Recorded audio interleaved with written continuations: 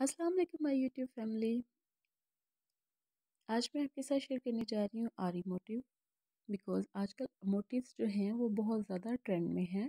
Boys आजकल motives या pocket के ऊपर डिज़ाइनिंग करवाना ज़्यादा पसंद करते हैं, बजाय इसके कि नेक बनाई जाए। ये डिफरेंट तरह से हो सकते हैं, क्योंकि आप आर के साथ भी बना सकते हैं, मशीन से भी बनवा सकते हैं, मीन्स बाज़ार से। हैंडमेड एम्ब्रॉयडरी भी कर सकते हैं और तारकशी मिक्स करके भी ये मोटिव्स बनवा सकते हैं।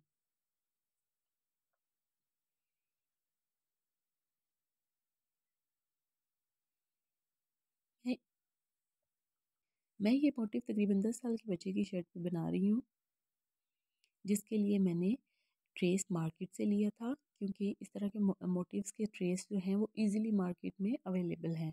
आप ऐसा ट्रेस यूज़ करें जिसमें आपको नॉट बार बार ना लगानी पड़े और कंटिन्यूसली आपका थ्रेड जो है वो आगे चलता चला जाए। एंकर का थ्रेड थ्रेड मैंने यूज़ किया है, बिल्कुल लाइट ब्लू शेड है, यानी स्काई ब्लू। नीचे जो बेस कॉटन कपड़ा है, उसके ऊपर मैंने ट्रेस लिया और उससे थोड़ा डार्क शेड में थ्रेड लिया है, ताकि ऊपर बहुत अच्छे से प्रोमिनेंट हो जाए। मोस्टली हम लोग सेम धागा यूज़ करते हैं, लेकिन यहाँ पे मैंने उसका थोड़ा डार्क यूज़ किया है।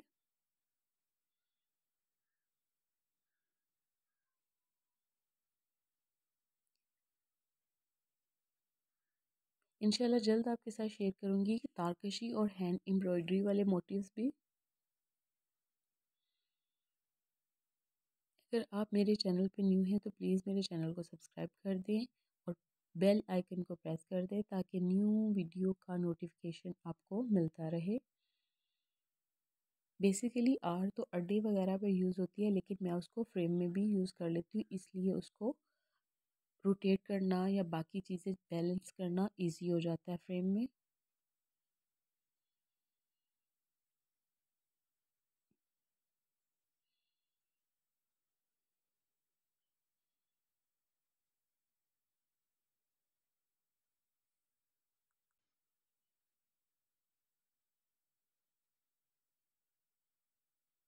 हैंड एम्ब्रॉयडरी या तारकशी मिक्स करने के लिए जो मोटिव है, वो मैंगो शेप में जो है वो बहुत अच्छे लगते हैं, चाहे वो सिंगल हो, डबल हो या थोड़ा उसे डिफरेंट अंदर फ्लावर मिक्स कर दिए जाए, लेकिन बॉयज़ की शर्ट पे थोड़ा डिफरेंट और यूनिक किस्म का मोटिव अच्छा लगता है।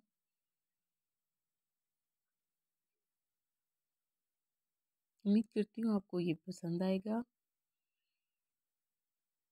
अपनी दुआओं में याद रखिएगा। इन जल्द मिलते हैं किसी एक और खूबसूरत से ट्यूटोरियल के साथ।